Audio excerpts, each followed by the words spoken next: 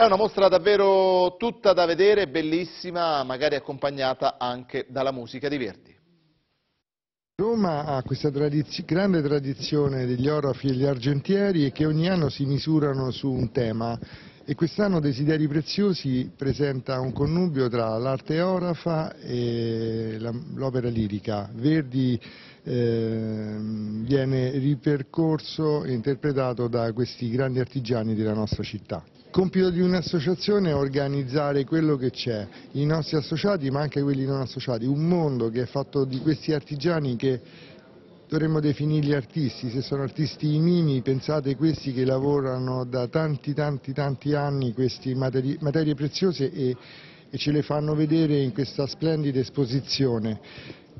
Quindi noi abbiamo un dovere di far conoscere alla nostra città quello che i nostri colleghi sanno fare, quello che di bello sanno fare. Mm, siamo qui nello spazio dell'auditorio in un allestimento nuovo rispetto alle passate edizioni e come vedete la fotografia, l'allestimento e ciò che producono credo che sia un vanto per la nostra città.